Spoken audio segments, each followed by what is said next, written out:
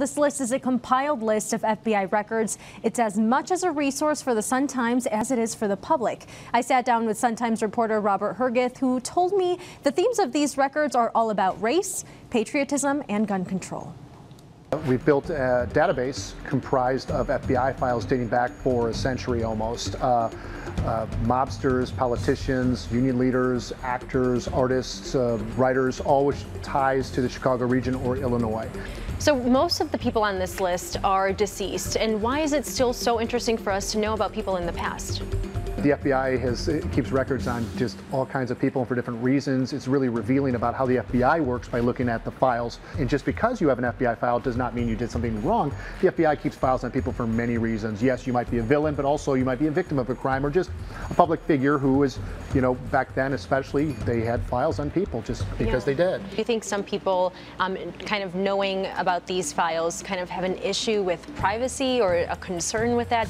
Well, I mean, here's the thing. If there's a privacy concern on behalf of the FBI, they'll black something out. What do you do when there's so much redacted details? Right. Sometimes the, the, the blacking out of words and the, the redactions are so heavy that it's hard to sort of gauge what is going on there.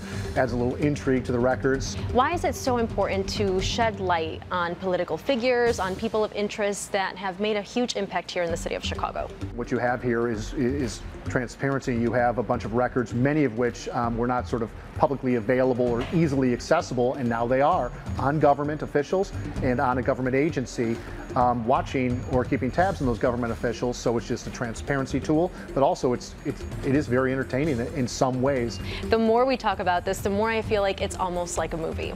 Well, literally, there are people in the files who have been the subjects of movies, like Frank Lefty Rosenthal was the subject of the movie Casino. And uh, so there are movies in here, literally, but also to your point, yes, yeah, some of the stuff is fascinating. Frank Sinatra is mentioned in some of these mobster files because he chummed around with some Chicago yeah. hoodlums. Bob, can you give us a quick sneak peek of who you have on your list on who you want more information from?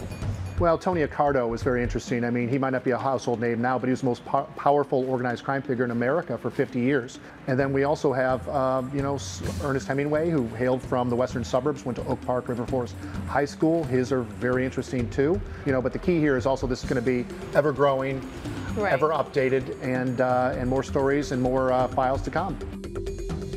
Well, the documents in the online portal shed light on the FBI's interest not just in mobsters and crooked politicians, but also the city and state's influential Catholic leaders. Head over to the Sun-Times website to check out the FBI files. And speaking of someone who's had an impact in Chicago, I pulled the Emmett Till file. Oh, so, yeah. so there are two separate ones. There you can see everything, you know, date, date of birth, you know, all that kind of stuff.